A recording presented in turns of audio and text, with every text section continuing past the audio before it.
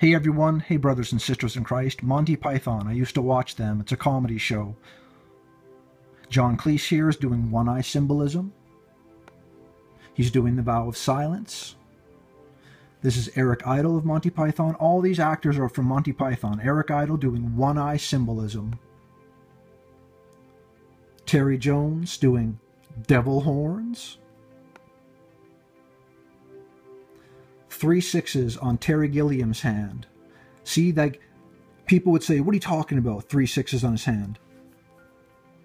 One finger makes a six, the second finger makes another six, the last finger makes three sixes. He's doing that to his glasses to make it look like he's doing that, strategically showing his buddies what team he's on. Isn't that hilarious? He's doing the devil horns, and he's doing the classic cover one eye, cover his face for one eye symbolism. Look at him, he's on the team. It's all famous people and more. It's people that have been on the world stage. Three sixes on both hands, very clever the vow of silence.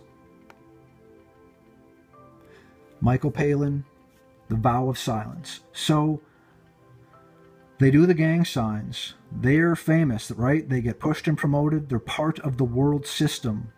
They've been allowed to become famous. I really don't think people can become famous without signing their soul away, however their contract works, whatever they've done, or if they're just the tares the whole time, Satan's kids, and this is their thing they get this and then they think they're going to to hell and party and whatever. I don't know what they think. Our Lord, our Father in heaven made Jesus Christ death, burial, and resurrection for the propitiation, for the taking away of sins, for forgiveness of sins, for salvation. It is the most important thing ever to happen. These guys did a movie, Life of Brian, which made fun of Jesus Christ, of course. Notice how everyone makes fun of Jesus Christ and not like Buddha or Mohammed or Allah or whatever. It's Jesus Christ. It's because he's the truth. You have to cut through all the religion, all the politics, all the mumbo jumbo and just have a real relationship. Be honest. Be honestly seeking. God will know when you're honestly seeking. He'll open your eyes if you seek Him. We've been avoiding Him, we've been pushing Him out of the world for the sake of entertainment. And look what entertainment is, everyone.